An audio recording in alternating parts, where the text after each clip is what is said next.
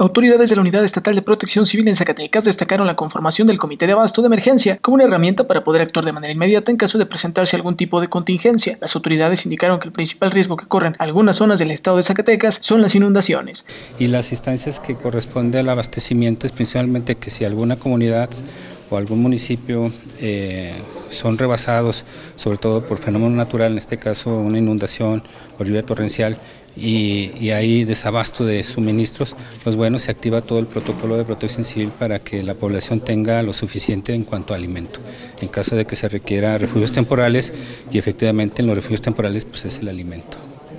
¿Cuáles serían catástrofes más probables que pudiesen ocurrir en la entidad Bueno, pues es el fenómeno natural ocasionado por el hidrometeorológico y viene siendo por la lluvia, viene siendo por inundaciones, ese es el, el objetivo principal para nosotros. Bueno, hay una coordinación con todas las instancias, con los tres órdenes de gobierno para el abastecimiento de, insumos.